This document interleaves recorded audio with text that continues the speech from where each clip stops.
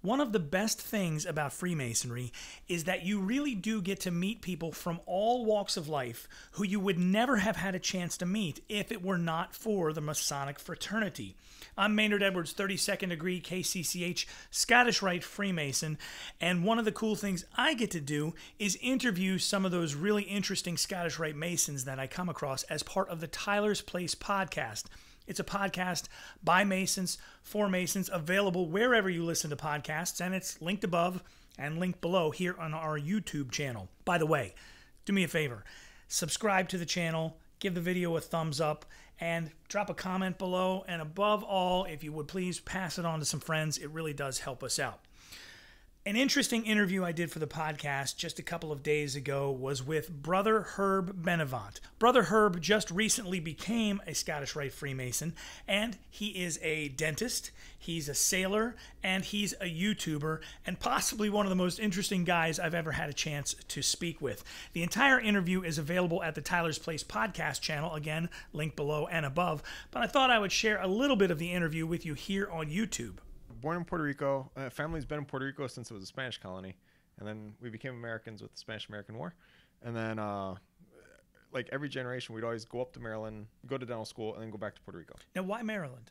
Uh, really good dental school. My sister came up to, to go to dental school, and then she was up there for the first semester. Came so back. just whole family. How many generations does dentistry go back in your family? Uh, three, and then Wow. but my great grandfather was a pharmacist who also went to Maryland. So my sister came up, was you know first semester, came back to Puerto Rico for Thanksgiving, and just looked at the island, and was like, "You guys need to leave. Like the economy's, it wasn't doing very well." And this was back in 2005, and then 2006 we uh, we moved to the Maryland. So we moved to Maryland because the plan I was going to go to dental school as well. So we thought, hey, if we live in the state, you know, in-state tuition, Right. that's why. Was, was there a lot of pressure on you to become a dentist, or was that just you wanted to be like your dad? there wasn't pressure. So I all right, the the thing that did it, I saw I can't remember which movie it was, but the dentist was like the evil scary guy. And I looked at my dad and grandfather, I'm like, they're not scary. Like I was confused.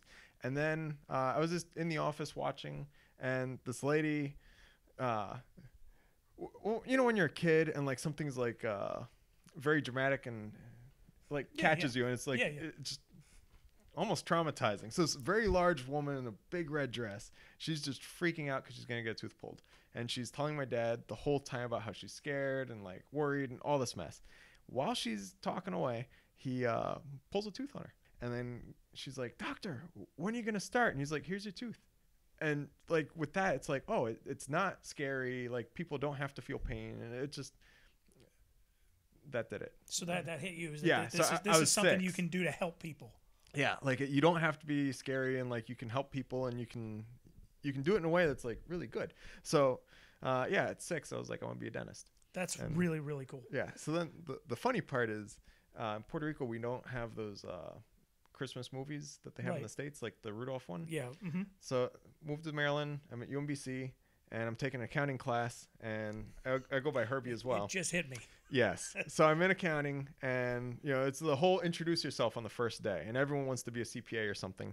And she gets to me, and I'm like, I'm Herbie, and I want to be a dentist. Do you mind telling me what you do want to do? Well, sir, someday I'd like to be a, a dentist. A dentist? And the whole class lost it. Yeah, and the teacher's like, Oh, Herbie wants to be a dentist, and I'm like, What? So um, let's talk a little bit about uh, Freemasonry. Is is there a family connection to Freemasonry? Yeah, uh, my great grandfather was a Mason. Um, my mom's dad was a Mason. Oh, wow. Like it was all through the line, and then uh, I was interested, and then my dad and I joined together, and then so we joined in Puerto Rico, and then moved to Maryland while we were still in our first degree, and then it was a lot of paperwork logistics Yeah, for bet, Palestine to bet. get that sorted out. So we were raised in Maryland, and then became members of Palestine Lodge. Where does the sailboat come into all of this that you and your wife decide to go on this somewhat crazy journey? the the less romantic side of the story is I'm in dental school. All my friends are buying houses and literally can't afford to go buy lunch. Like it's like, oh, let's go eat at this restaurant. Like I'm broke, and I'm like, I want to buy a boat. If I buy a house, it'll take forever to be able to buy a boat. So I'll just buy a bigger boat and live on that, not buy a house, and you know, house money for a boat. And then, uh, yeah, so like all through dental school, I, I was reading about how to sail because I'd never actually sailed before, but I wanted to live on a sailboat. And then I uh, Man, you are a, you are a Yeah. risk taker because I mean, have you had you been on a sailboat to that point in time? I've been. I used to windsurf in Puerto Rico. Okay, but So that's not I- a sail. That's no, not living not on a all. sailboat. Like Nothing. you never slept on a sailboat to this point. No. Yeah. So I was like, I want to get a boat, and the problem was at the time gas prices were four bucks a gallon. Sure. So I'm like, I can't afford a powerboat because I can't run the thing. Right. So wind is free. Uh, the joke is, you know, sailing's the most expensive way to get somewhere for free. So I'll bet. Yeah. yeah, so I learned how to sail by reading, and then took a weekend course to kind of like piece stuff together, make sure that you know I'm not going to kill myself. And then my third time sailing, I brought my boat across the bay with Wow. uh, with my parents who'd never been on a sailboat. So that was Now- interesting. Now, how does your wife come into this? Because Ah. I'm, I'm just trying to figure Yeah. how, how do you make this pitch to a lady? Hey, hey, girl, I can't afford lunch. I'm not going to buy a house. We're going to get a boat instead. Yeah. And uh, I mean, how, how does So- bring me up to speed on that? So the way that works is one of my dad's friends who still wants to buy a boat. He his wife doesn't want a boat. And he said, "Get your boat first. It comes into relationship as baggage. If you get your boat after, you know, then you have to get permission." sure. So I was dating a girl, and she was all for the idea of living on a boat, and she thought that was cool. And then I found the boat and showed her pictures. I'm like, I found the boat. And she's like, Oh, I thought this was like a phase you're going to grow out of or something. well, she said, Mirror the boat. So easy choice. Got the boat. Sure. I, I, so then had the boat and uh, uh, I, I was online dating. My wife was my first date on Tinder, and uh, she uh, she was like, "Do you live with roommates?" And I said, "No, actually." And then I just confessed everything. Like, I live on a sailboat. I'm a weirdo. Like, I want to go sail around the world. And uh, she was like, "That's interesting." Came to the boat and stayed. And she moved in on the second date. wow. So, so- she was your first and last Tinder date. Yeah. Wow. That's Yeah, I know. That It is was- a romantic really story. good. That's a Yeah. really romantic story. So, but then, so she was on this mission to get me off the boat. Like she wanted to get me on land. So she tried looking at condos and houses and all this. And I'm like, no, like we're doing the boat. And it took her about a year of misery to then start liking it. And I asked a neighbor of mine who he's happily married for like 15 years on his boat. And I was like, how do you get your wife to like it? He's like, oh no, she still hates it. I just won't leave. I'm like, that's not the answer I'm looking for. So yeah so then like when we started sailing around like we'd do trips in the bay and my wife like she really started loving the sailing and the travel of it so then she actually decided let's go cruising and then the plan was so we got married and we were going to sail from maryland to puerto rico and back in nine months and five years later we're not Still back yet it. yeah Still doing it. we started the YouTube channel when we started sailing uh, as like just a video journal for ourselves. And then people started watching and subscribing, and we started growing. And it was kind of like supplemental because like we'd sail for like two, three months, and then I'd come back and work for a couple months, and we'd make our money to sail further. Right. Uh, and we did that for like the first four years, and then uh, we made it all the way to Spain.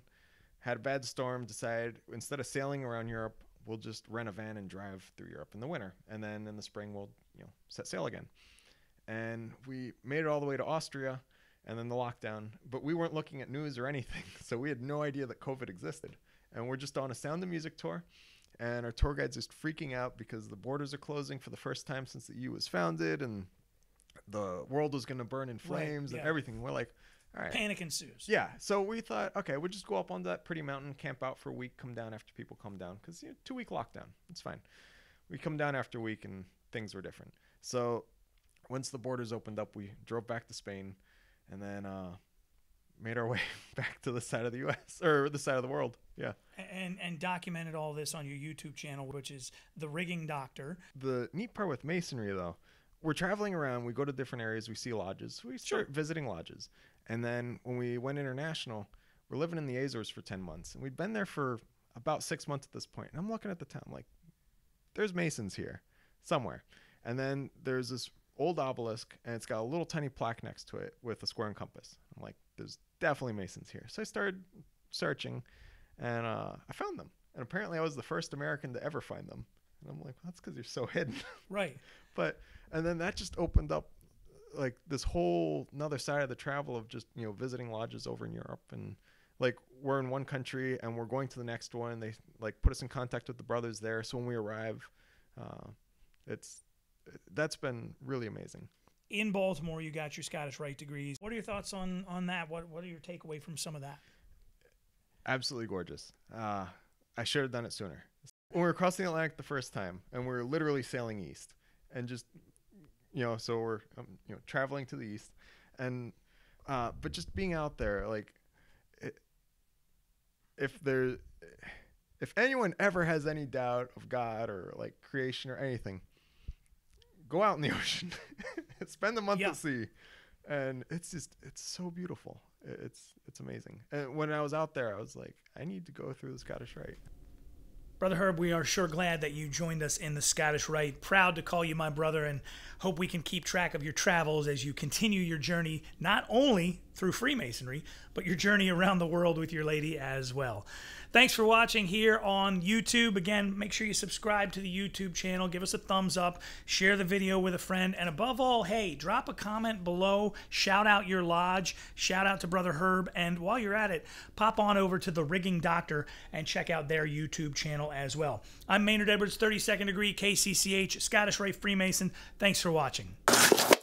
Hey, if you're watching this video and you want to learn how to become a Freemason, click this video right here and it's going to give you a step-by-step process to follow on how to connect with a Masonic Lodge. And if you're already a Master Mason interested in joining the Scottish Rite, click this link right here and it's going to take you to the Scottish Rite website where you can sign up to become a Scottish Rite Mason right now.